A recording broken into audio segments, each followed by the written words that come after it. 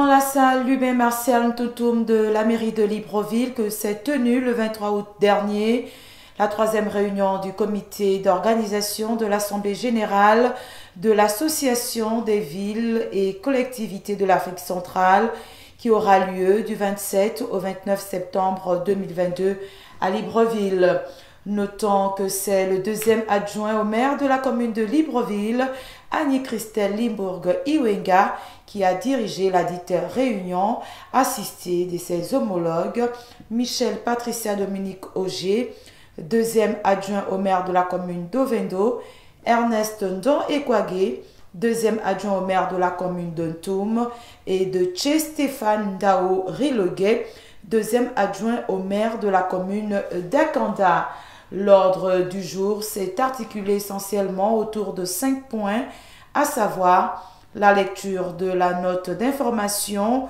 puis celle du compte rendu de la deuxième réunion qui s'est tenue le 11 août dernier. La présentation et réception des listes des commissions techniques,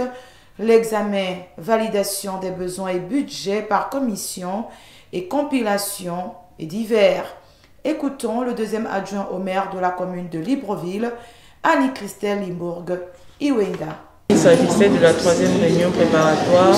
à la tenue de l'Assemblée euh, générale de l'Association des villes et collectivités d'Afrique centrale, l'AFCAC. C'est une instance de l'AIMF et donc l'AIMF se retrouve à Libreville euh, avec tous les maires d'Afrique centrale pour pouvoir échanger et diviser sur un certain nombre d'activités qui leur sont dédiées. Et donc, euh, Madame le maire de Libreville, son Excellence Christine Manoutoum, euh, qui est assistée donc, euh, pour, par ses collègues Louvendo et Dakonda et Dentoum, donc du Grand Libreville,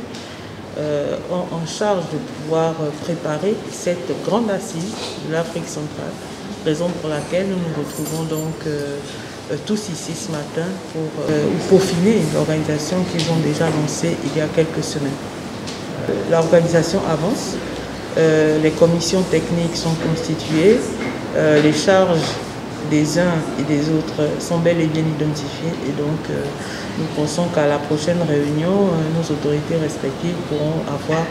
le dossier complet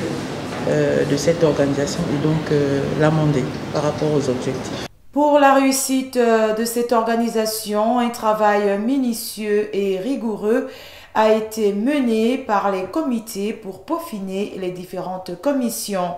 Rappelons que la quatrième réunion du comité d'organisation de cette Assemblée générale aura lieu ce mardi 30 août 2022.